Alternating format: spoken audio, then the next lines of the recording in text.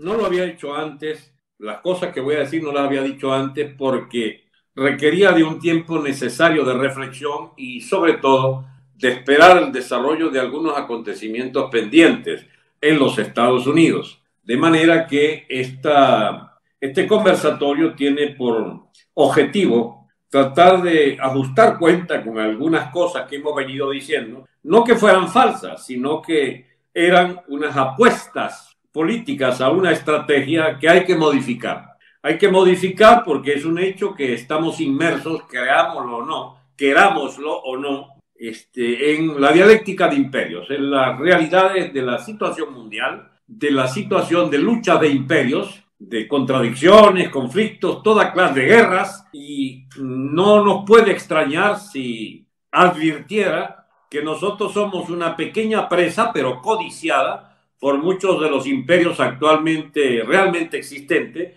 y que tienen cosas que decir sobre Venezuela, están empeñados en modelar nuestra suerte, la han modelado, digamos, de la peor manera posible y sin embargo este,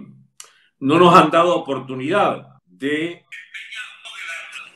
no nos han permitido eh, participar nosotros en ese, en ese proceso. Entonces, acabo de constatar que efectivamente YouTube está bien. Entonces, em,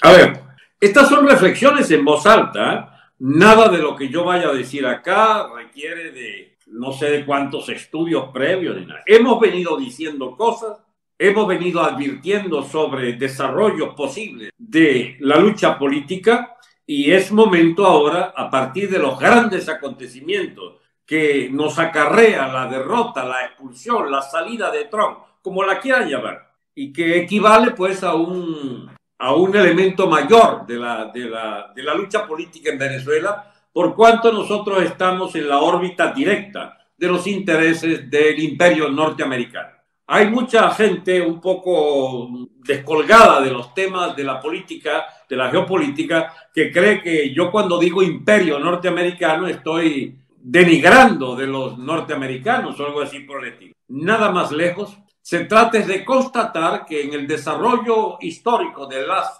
repúblicas, de las naciones, de las monarquías, hay eh, desarrollos tan importantes que le dan un papel en la situación mundial y se hacen estados muy poderosos y determinantes en la fisonomía, en la evolución de la geopolítica de muchos otros países que están bajo su influencia y la peor suerte le toca a los que están en el medio de fronteras de imperio que generalmente eh, son presas de contradicciones, de luchas intestinas provocadas por esa lucha de imperios. Y bien, cuando digo que el imperio norteamericano dominaba nuestra política por el siglo XX, todo el siglo XX, no es ninguna, ningún calificativo, ningún denigrar de los norteamericanos. Sencillamente se iniciaron con la expulsión de las fragatas europeas que venían a cobrar compulsivamente la deuda a Cipriano Castro por allá en 1902.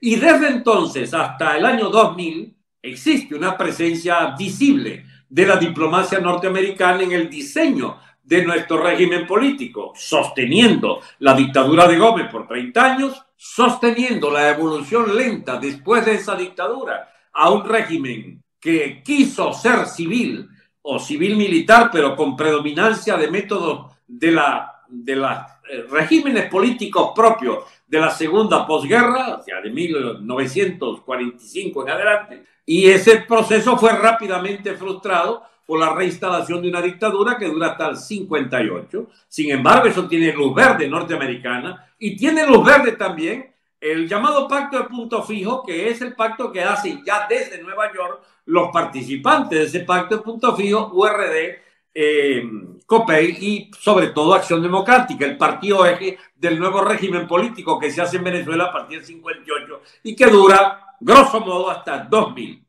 No digamos 98 porque todavía el 99 Chávez trataba, habiendo ganado las elecciones de 1998, sobre la cual todavía hay dudas en mucha gente, bien, este, el régimen que se inaugura entonces abre otra etapa política de Venezuela, que es la del desmantelamiento de la influencia norteamericana y el crecimiento inusitado, el crecimiento, pero a progresión geométrica de eh, la dictadura del totalitarismo comunista cubano, del que nos hacemos un Estado cliente, un Estado que se permite eh, castigar a su población con algunas, eh, digamos, contenciones de su propio consumo para premiar el consumo de la burocracia dominante en la Cuba castrista. También nos hacemos clientes privilegiados de la Rusia, eh, que ya había dejado de ser la Unión Soviética eh, ocho o diez años antes, pero que sin embargo conservaba intereses del imperio ruso reconstruyéndose ya y que quedó heredero de las eh, tutelas cubanas sobre el Caribe y sobre Venezuela. Y hay por primera vez a fondo una penetración china de la cual nos hacemos también Estado cliente. El imperio chino asomaba tenuemente todavía en una rápida progresión económica que determina una poderosa influencia que nos coloniza económicamente y no podía tardar tampoco por voluntad de Chávez y de esa casta política que construye la sujeción a el totalitarismo del Estado teocrático clerical musulmán de la teocracia, pues de Irán y de otros, eh, digamos, movimientos satélites, como las guerrillas del Hezbollah, etcétera, jamás. Bien, desde 2000 entonces padecemos ese régimen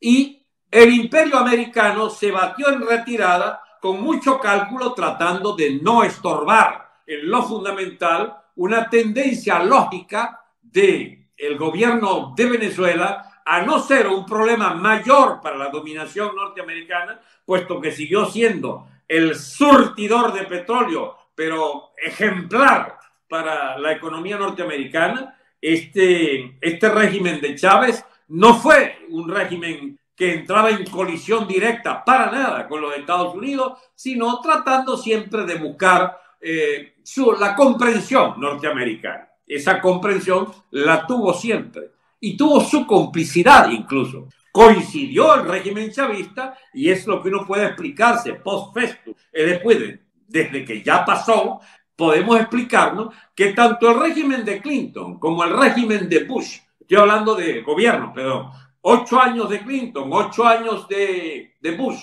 y ocho años de Obama, todos esos años, en los primeros de Clinton no estaba Chávez, pero sí estaba quienes preparan el camino, la famoso chiripero de Caldera, que preparan el terreno para el ascenso electoral de Chávez al poder. Recuerden, todos los que serán después del conglomerado de fuerza del chavismo estaban ya agrupados en el frente que sostenía al gobierno Caldera, que tenía hasta ministros que después este, serían pues eh, ministros cómplices o abiertamente cómplices del chavismo ya en el poder desde 1999. Y bien, ese régimen entonces eh, de complicidad norteamericana es el de los llamados globalistas. ¿Qué es el globalismo? Bien, la tendencia en Estados Unidos que se impone como la política oficial de los llamados progres, de la gente que coincide con tolerar muchas leyes que desmontan el conservatismo norteamericano, pero que sobre todo estimula algunas guerras regionales eh, de disputa con los imperios eh, adversarios, en particular, eh, no toleran el ascenso de la aspiración pequeño imperial de Irán, se meten en varias guerras del Medio Oriente, también con la aspiración expansionista del régimen iraquí, aniquilan el régimen libio. Estoy hablando de los gobiernos de Bush, Obama y Clinton que hicieron de la eh, situación mundial una situación muy inestable, eh, dada la, la, ¿cómo se llama esto? La propensión a la guerra, a la guerra, para dirimir los conflictos entre imperios. Venezuela estaba bajo el ala cubana, soviética y china e iraní. Estados Unidos se resignó a que este avispero no lo jurungaran. Bueno, Chávez usufructuó entonces de todos los privilegios de las alzas de precios petroleros, de la gran posición venezolana en ese mercado petrolero mundial y dejó en herencia la tutela militar y policial cubana la tutela rusa en algunas cuestiones básicas del armamento estratégico o el armamento que para Venezuela es estratégico de su aviación y la misilística, etcétera, y entró con fuerza China en el saqueo a los recursos naturales de Venezuela. Y todo esto aún se mantiene. Todos los datos fundamentales del régimen de Chávez los sostuvo Maduro, pero con el agravante de que habiéndose derrumbado la economía petrolera y habiendo Estados Unidos desenganchado del apoyo que le había dado hasta Obama, el régimen de Maduro pudrió sobre sus bases y deparó un proceso inevitable de lucha de conflictos internos que lleva hasta la situación de barbarie que conocemos hoy en la economía y en la sociedad venezolana.